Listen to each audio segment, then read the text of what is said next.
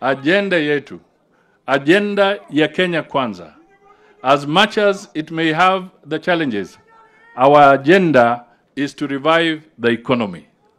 Mimi nikisema niseme hapa ati nitoe hesabu ya yale tuliona, ya yale tulipata wakati tulichukua serikali, mtashangaa. But that shall be for another day. Because the debt levels, the debt margin, shida ambayo tulipata, shimo ambayo iko pale, I can tell you it is a very serious matter. Na tutoka kwa shimo, we must stop digging. And to stop digging, we will have to go through some difficulty because we have to stop digging and be able to revive the economy. And I appreciate the young people who are speaking. It's a tight moment. It's a difficult moment.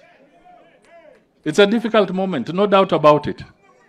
But I can assure you that we shall not abandon the good cause and we shall not deviate from focusing on what is required.